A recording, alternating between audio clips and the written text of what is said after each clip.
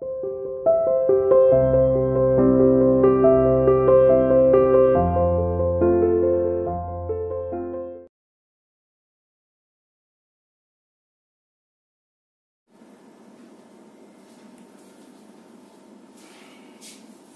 students, uh, today we are going to discuss the last topic of this chapter that is density and relative density. पहले हम start करते हैं इसमें बच्चे हमारा टॉपिक डेंसिटी डेंसिटी क्या होती है? देखो, हमने जनरली सुना होगा कि कोई सब्सटेंस कितना हैवी है, कितना लाइट है मींस किसी भी सब्सटेंस की हैवीनेस और लाइटनेस को जो हम एक्सप्रेस करते हैं फिजिक्स में, वो करते हैं डेंसिटी के अंदर. Density express the heaviness of a substance और lightness of a substance and it may be defined as the mass per unit volume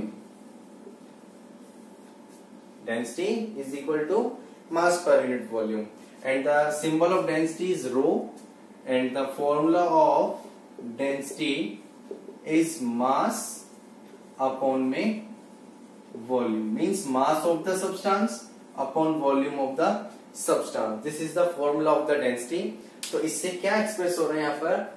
जो density it is inversely proportional to volume and directly proportional to mass अगर volume ज़्यादा होगा तो density कम होगी। Volume कम होगा तो density क्या होगी? ज़्यादा होगी। इज़ इट क्लियर अगर हम बात करें यूनिट की तो मास की यूनिट क्या होती है बच्चे? किलोग्राम वॉल्यूम की यूनिट क्या होती है? Metre cube so the unit of density is kilogram per metre cube this is the SI unit standard unit of the density kilogram per metre cube is the unit of density देखो इधर। भाई suppose करो, यहाँ पर हम water की density लिख रहे हैं thousand kilogram per metre cube what is the meaning of this statement means one metre cube volume जो ऑक्यूपाई कर रहा है, उसमें जो वाटर की क्वांटिटी मैक्सिमम हो सकती है, वो कितनी होगी जी? Thousand kilogram means thousand kilogram water is present in one cubic metre volume one cubic metre बोल सकते हैं या मीटर क्यूब जो वॉल्यूम है, उसमें कितना आ सकता है जी? थाउज़ेंड किलोग्राम ऐसे ही ये तो बात हो गई वाटर की। अगर मैं बात करूँ, एक वुडन ब्लॉक जो है हमारे पास वुड में, उसकी डेंसिटी दिखा रखी है आपको 800 किलोग्राम पर मीटर क्यूब तो वो वुडन ब्लॉक जो वॉल्यूम ऑक्यूपाई करेगा, वो कितना करेगा? वन मीटर क्यूब उसका मास कितना होगा जी उसके अंदर? 800 किलोग्राम ये एक्सप्रेस कर रहा है उसकी डेंसिटी आयरन की अगर हम बात करें यहाँ पर for example 7800 kilogram per metre cube आपकी बुक्स में भी टेबल दे रखी है जिसमें डिफरेंट डिफरेंट सब्सटेंस की डेंसिटी मेजर तो means one metre cube volume में जो आयरन ऑक्यूपाई होगा that is 7800 kilogram maximum is it clear ऐसे किसी भी जगह पे जब हम उसकी डेंसिटी निकालते हैं, किसी भी शहर की तो इसका मतलब ये होता है कि पर क्यूबिक वॉल्यूम में कितने परसेंट वारे हैं, वो उसकी डेंसिटी का काम करता है। ऐसी सब्सटेंस में है कि कोई भी सब्सटेंस कितना स्पेस ऑक्यूपाई कर रहा है, कितना उसका मास है, वो उसकी डेंसिटी एक्सप्रेस करते हैं heaviness of a substance is it clear density is the characteristics property of a substance अगर स्मॉल यूनिट की बात करें तो बिग यूनिट हो गई, इसकी बड़ी यूनिट हो गई। स्मॉल यूनिट की बात करें तो डेंसिटी की स्मॉल यूनिट होती है बेटा ग्राम पर सेंटीमीटर क्यूब कितनी होती है? ग्राम पर सेंटीमीटर क्यूब और वाटर की अगर हम डेंसिटी की बात करें तो वो हो जाएगी one gram per centimetre cube और अगर ऐसा यूनिट के अंदर thousand kilogram per centimetre. Is it clear तो डेंसिटी का जो फॉर्मूला है हमारे पास वो कितना है? मास बाय वॉल्यूम यूनिट होती है डेंसिटी की किलोग्राम पर मीटर क्यूब या ग्राम पर सेंटीमीटर क्यूब अब अगर किसी सब्सटेंस की डेंसिटी मैंने आपको पहले भी बताया था लास्ट क्लास में कंसेप्ट कि किसी भी सब्सटेंस की डेंसिटी अगर वाटर की डेंसिटी से ज़्यादा है then that substance will sink in the water वो सब्सटेंस वाटर में सिंक हो जाएगा और अगर किसी भी सब्सटेंस की डेंसिटी वाटर की डेंसिटी से कम है then that substance will float in the float on the surface of water वो सब्सटेंस वाटर के सरफेस पर फ्लोट करेगा। इज़ इट क्लियर वाटर की डेंसिटी कितनी होती है? Thousand kilogram per metre cube ये हमारा छोटा सा कंसेप्ट डेंसिटी का था। और इसके बाद जो हमारा इसमें कंसेप्ट आता है बच्चे, वो आता है रिलेटिव डेंसिटी कि डेंसिटी को रिलेट करके निकाल रहे हैं, हम किससे रिलेट करके निकाल रहे हैं यहाँ वाटर से रिलेट करके निकाल रहे हैं। कि किसी भी सब्सटेंस की डेंसिटी वाटर की डेंसिटी के कंपैरिजन में कितनी है, वो हम रिलेटिव डेंसिटी के टर्म्स में निकालते हैं। मींस अगर हम बात करें relative density the density of a substance with respect to the density of water is known as relative density और इसका फॉर्मूला क्या होता है जी? रिलेटिव डेंसिटी का डेंसिटी ऑफ़ सब्सटेंस अपॉन में. डेंसिटी ऑफ़ वाटर कि वाटर की रेस्पेक्ट में कोई सब्सटेंस कितना हैवी है, वो उसकी रिलेटिव डेंसिटी को एक्सप्रेस करता है। By using relative density we can easily find out the density of the substance अगर हमें उस सब्सटेंस की रिलेटिव डेंसिटी पता है तो हम उसकी डेंसिटी भी इजीली निकाल सकते हैं। Is it clear the density of a substance with respect to the density of water and it is the ratio of density of substance to the density of water इसको बोलते हैं हम relative density अगर मैं यहाँ पर express करूँ, थोड़ा ध्यान से समझना मैं इसको एक्सप्लेन करके लिख रहा हूँ। Density of substance is equal to किसकी होगी बच्चे? Mass of the substance upon में वॉल्यूम ऑफ़ द सब्सटेंस ठीक है जी?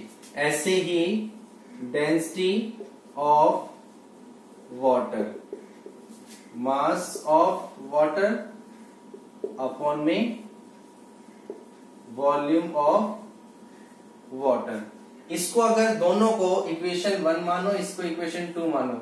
इसको अगर मैं इस फॉर्म में पुट करता हूँ तो क्या होगा? डेंसिटी ऑफ़ सब्सटेंस की जगह क्या पुट करूँगा मैं? यहाँ मैं निकाल रहा हूँ। रिलेटिव डेंसिटी ऑफ़ सब्सटेंस क्या होगा पुट करो इसको?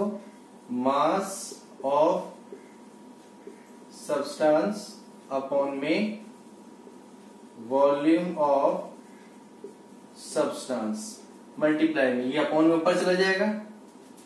ऊपर क्या है यहाँ पर?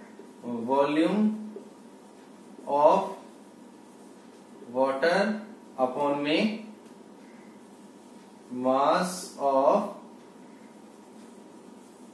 वाटर तो ये फॉर्मूला बनता है हमारे पास इज़ इट क्लियर अब देखो। अगर हम यहाँ पर दोनों का वॉल्यूम इक्वल ले लें, किस किस का वॉल्यूम? वाटर का वॉल्यूम और सब्सटेंस का वॉल्यूम। दोनों का वॉल्यूम अगर हम इक्वल ले लें if there are equal volume of substance and water दोनों का वॉल्यूम अगर हम इक्वल लेते हैं तो ये किसमें एक्सप्रेस हो सकता है? रिलेटिव डेंसिटी ऑफ़ सब्सटेंस किसके इक्वल हो सकती है? Mass of any volume of substance upon में mass of equal volume of water कि जितना वॉल्यूम सब्सटेंस का है, उतना ही वॉल्यूम हम किसका ले रहे हैं? वाटर का ले रहे हैं। तो उसको हम किसमें एक्सप्रेस कर सकते हैं उसकी? रिलेटिव डेंसिटी के अंदर। देखो, मैं इसको दोबारा लिख रहा हूँ, ऊपर लिख रहा हूँ। अगर आपको थोड़ा सा लिखने में प्रॉब्लम हो रहा है तो मैं इस फॉर्मूले को ऊपर लिख देता हूँ। Relative density of substance is equal to mass of any volume of substance upon में mass of an equal volume of water ये फॉर्मूला सेम यही है जो नीचे लिखा हुआ है। आपको थोड़ा सा देखने में प्रॉब्लम हो रही है, इसलिए मैंने इसको ऊपर लिख दिया बच्चे, कि जो रिलेटिव डेंसिटी है, अगर हम उसको मास की टर्म्स में एक्सप्रेस करें तो कैसे करेंगे? हमें उस सब्सटेंस का जो वॉल्यूम है, उतना ही वॉल्यूम किसका लेना है? वाटर का लेना है। भाई हम जब उस सब्सटेंस की डेंसिटी निकाल रहे हैं तो मास बाय वॉल्यूम के फॉर्म में निकाल रहे हैं।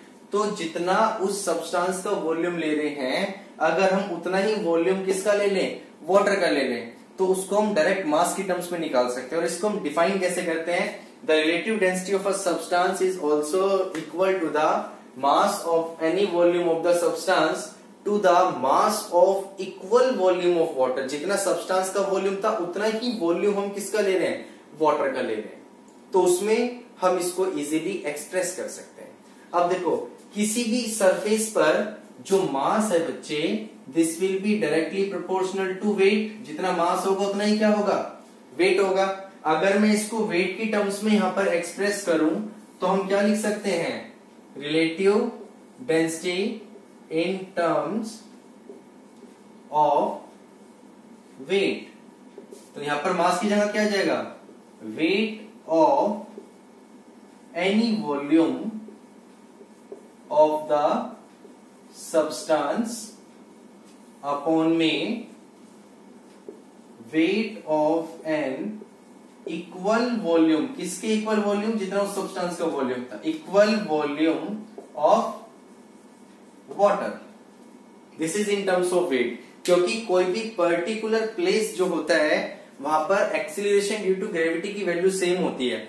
सो so, अगर जो मास है वही हम किसको ले सकते हैं? वेट दोनों लगभग एक दूसरे के डायरेक्टली प्रोपोर्शनल होते हैं और इक्वल होते हैं। So mass of weight of any volume of the substance is also equal to weight of an equal volume of the water it is also explain the relative density of the substance in terms of weight is it clear एक और मैं अगर आपको यहाँ पर formula बताऊँ relative density in terms of Archimedes principle relative density in terms of Archimedes principle relative density को मैं आर डी से डिनोट कर रहा हूँ. Relative density of a substance यहाँ पर किसमें ले रहा हूँ मैं? In terms of Archimedes principle तो क्या होगा वो? Relative density is equal to weight of the substance in air upon में weight of the substance in air minus weight of the substance in liquid. किसी भी लिक्विड में जितना loss हो रहा है उस वेट का, उससे भी क्या निकाल सकते हैं हम उसकी? रिलेटिव डेंसिटी निकाल सकते हैं। This is completely based on the Archimedes principle और ये किसके इक्वल हो सकता है जी? Weight of the substance in air और weight of the substance in liquid means loss in the weight of the object या substance which is equal to the buoyant force भाई, जितना बायोन फोर्स लग रहा है, उतना ही तो वेट में लॉस हो रहा है। तो इसको हम, इसके इक्वल ले सकते हैं easily is it clear this is the formula of relative density मैंने आपको कई फॉर्मूले बताए रिलेटिव डेंसिटी के। Mass of the equal any volume of the substance to the mass of an equal volume of water weight of any volume of the substance to the weight of an equal volume of water और Archimedes principle के terms में weight of the substance in air upon में loss in the weight of the substance in the liquid तो इसमें हम क्या निकाल सकते हैं? इसकी रिलेटिव डेंसिटी निकाल सकते हैं। अब देखो, मैं आपको कुछ पॉइंट्स बताऊँगा यहाँ पर। जो रिलेटिव डेंसिटी होती है बेटा रिलेटिव डेंसिटी ऑफ़ वाटर वो होती है बच्चे वन अगर आपसे पूछ रहे कि जी यूनिट क्या है? Unit of relative density this is the most important question what is the unit of relative density तो जो रिलेटिव डेंसिटी है relative density is a unit less quantity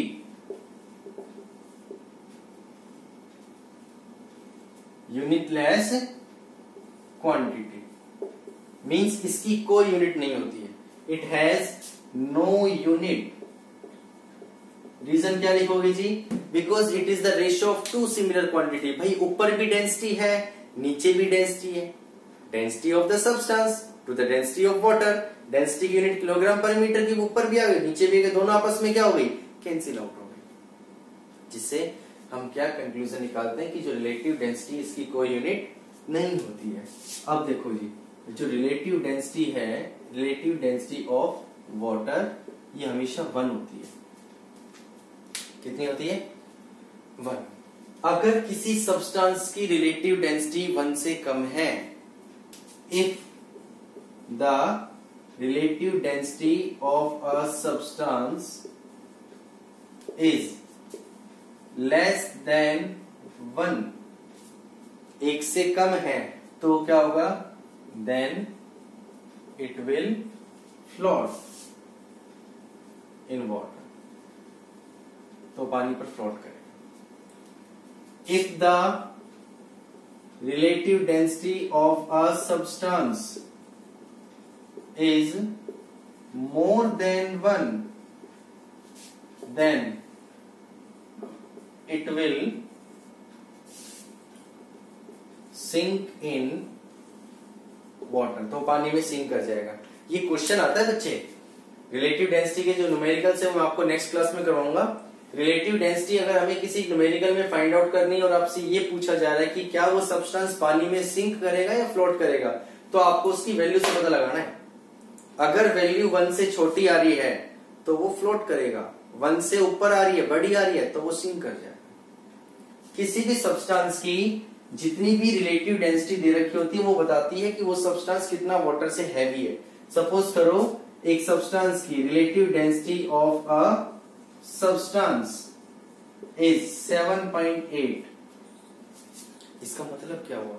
कि जो वो सब्सटेंस है it will be 7.8 times heavier than that of the water वो substance water से उतना ही क्या होगा? हैवी क्योंकि वाटर की डेंसिटी कितनी है? रिलेटिव डेंसिटी वन है। और उसकी 7.8 तो इतने टाइम्स हैवी हो गया ना ये? इज़ इट क्लियर तो ये हमारा कंप्लीट जो कंसेप्ट है, वो रिलेटिव डेंसिटी का था कि रिलेटिव डेंसिटी क्या होती है, हम उसको कैसे एक्सप्लेन करते हैं? मेन फंडा है बेटा रिलेटिव डेंसिटी का कि हम वाटर के रिलेट में रिलेट में किसी सब्सटेंस की डेंसिटी को निकाल लें हम किसी भी सब्सटेंस की डेंसिटी को फाइंड आउट भी कर सकते हैं, अगर हमारे को उसकी रिलेटिव डेंसिटी दे रखी है तो।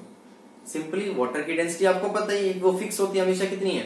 Thousand kilogram per metre cube cross multiply करेंगे, उसकी डेंसिटी आ जाएगी। क्लियर तो ये आपका लास्ट कंसेप्ट था बच्चे, इस चैप्टर का फ्लोटेशन का। आपके फोर्थ चैप्टर कंप्लीट हो चुके हैं फिजिक्स के अंदर। अब फोर्थ चैप्टर जो आपका, वो कंप्लीट हो चुका है। अब हमारा मोटो क्या है कि जो हमने ये फ्लोटेशन चैप्टर किया है, इसमें जितने भी कंसेप्चुअल क्वेश्चंस हैं और न्यूमेरिकल्स हैं, उनकी प्रैक्टिस करनी है। तो जो नेक्स्ट क्लास में, उसमें मैं आपको इसी के बेस पर प्रेशर और डेंसिटी के बेस पर जो न्यूमेरिकल्स है वो करवाऊँगा और उसकी एक्सरसाइज आपको करने के लिए। ठीक है जी? तो ये असाइनमेंट जो है, वो आपको नोट करना है नोटबुक के अंदर और इन टॉपिक को रिवाइज करना है। सो थैंक यू बच्चे God bless you stay home stay safe